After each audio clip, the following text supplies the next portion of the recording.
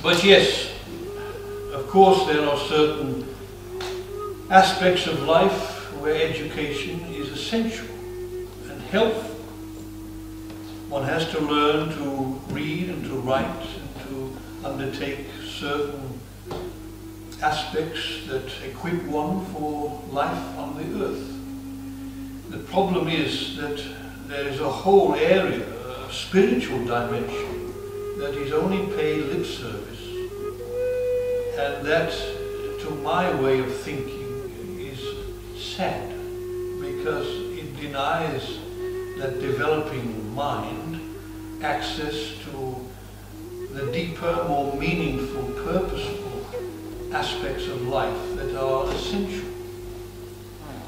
Where in education are you taught uh, that life is eternal? Where you taught about compassion, about service to others, about selflessness, kindness, gentleness, altruism? Yes, you may pay lip service to them. They may come into this story or that tale. They may be hinted at in biblical teachings, but they are never fully addressed. And this is why education, society in general, is geared to left-brained intellectual mind, which in its cleverness may help uh, the future uh, child in its, uh, in its job prospects.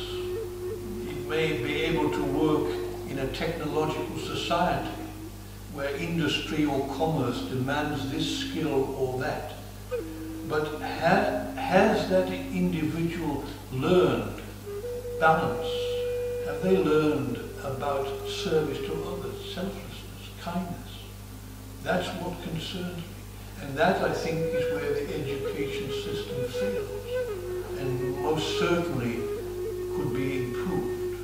I don't know whether you agree with that. Um, I'd like to think that those of us that may work in education and that have a, a little knowledge are guided by Spirit. Absolutely. And of course, there are some very, very good people, good souls who are teachers, very kind souls, who work closely with children and with the young mind, who, who, by the way, they may be old souls. They may have something to teach you. And I'm not casting any aspersions or aiming any criticism on individuals because I see these souls, I see them. But they would be good souls anyway, whether they were in education or not.